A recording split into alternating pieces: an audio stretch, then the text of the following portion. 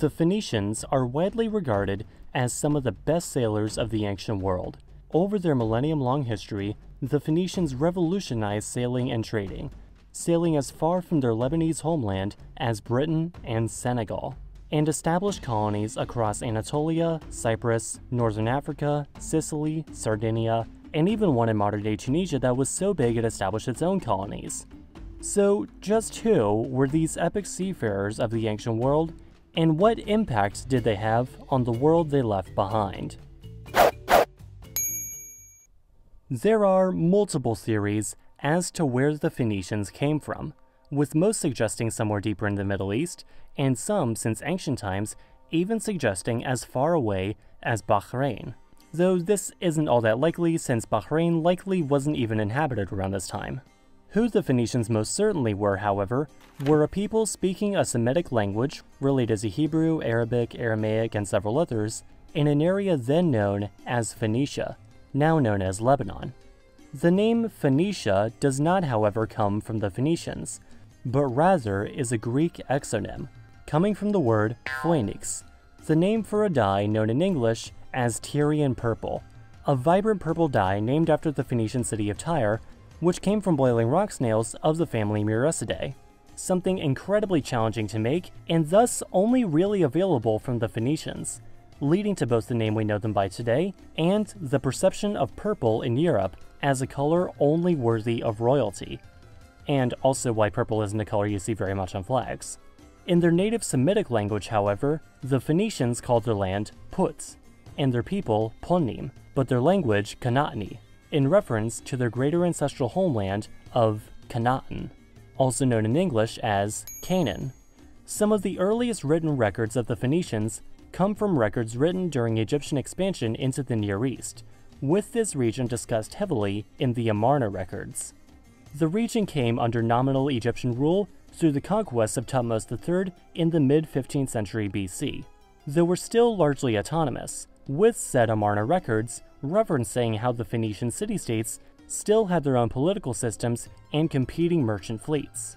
Phoenicia was a valuable asset for Egypt, with its access both to Mesopotamia via the Orontes and the Nahara Kabir rivers, and its supply of cedar wood, something Lebanon still likes to show off to this day.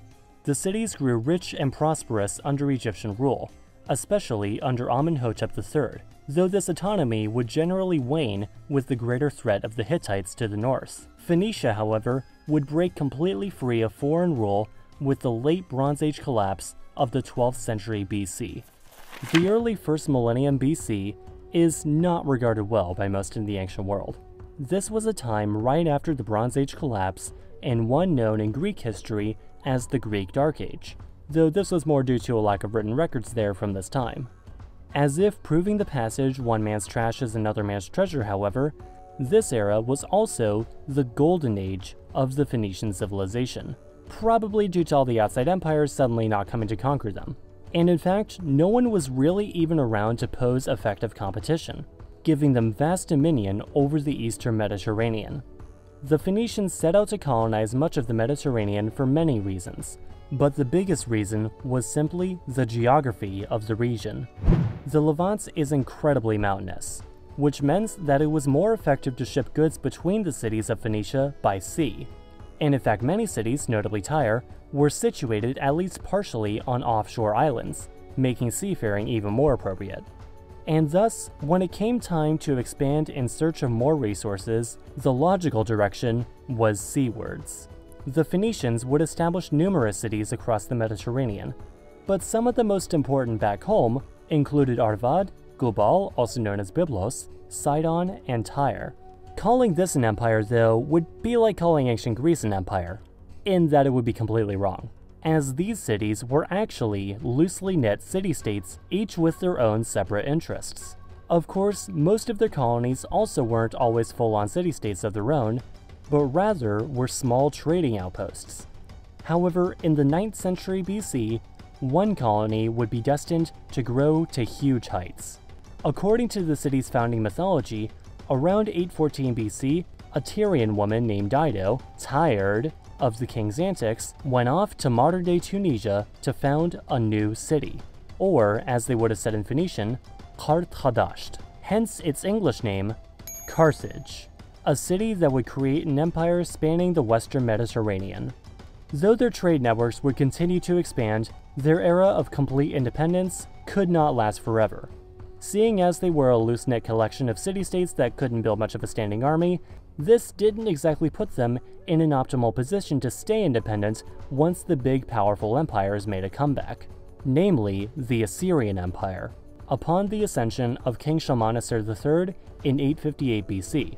Upon his death in 824 BC, however, the cities would maintain semi-independence. The Phoenicians would then be put under new management in the Babylonian Empire in 605 BC, and then by the Achaemenids in 539 BC. This period saw a gradual decline in Phoenician activity, with many moving out to the previously established colonies, notably Carthage. The Achaemenid Empire, however, would be swept from the region in 332 BC by Alexander the Great, who from now on on this channel will be referred to as Alexander the Conqueror, just because I really feel like that's a more fitting title for him, who notably spent months besieging the island of Tyre, building multiple causeways to do so, something that was no small feat, even for someone like Alexander. The Phoenicians still kept going under the Seleucid Empire and even under the Roman Republic until around the mid 1st century BC. Their descendant Carthage, however, would not be quite so lucky, fighting three wars with Rome and losing so badly that their capital was destroyed in one of the most thorough cultural erasures in history with the ground reportedly salted so nothing would grow in memory of Carthage. For well over a thousand years, the Phoenicians ruled the waves of the Mediterranean, connecting the cultures of the Levant, the Greeks, Egypt, southern Italy, Numidia, and Hispania to each other, expanding their reach all across the sea and innovating vastly, especially in the field of seafaring.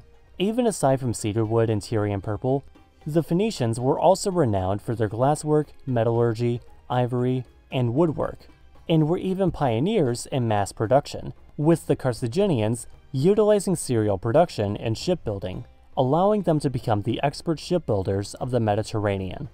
Of course, I would also be remiss if I didn't mention their writing system, one that shares many similarities with the scripts used in Hebrew, Arabic, Aramaic, and other Semitic languages, which most likely evolved from Egyptian hieroglyphs. Oh, and also gave rise to basically every script used on the European continent today, from Latin to Greek to Cyrillic. But I already talked about all this in a previous video. Although the history of the Latin alphabet could be a good future video unto itself. Given just how long the Phoenicians lasted, however, especially given how much of that history was spent under foreign rule, I guess it goes to show that if you want to be kept alive, make it so that you're only truly valuable alive and at least somewhat free. I don't know, just try not to get on Rome's bad side though. Thank you as always for watching. Be sure to like and share this video, and if you enjoy history, consider also checking out last week's video linked on screen, which is in my opinion one of the most important I've ever made, but hasn't really been getting many views at all despite having a very important message. Anyway, consider following me on social media, and subscribe to learn something new every Sunday.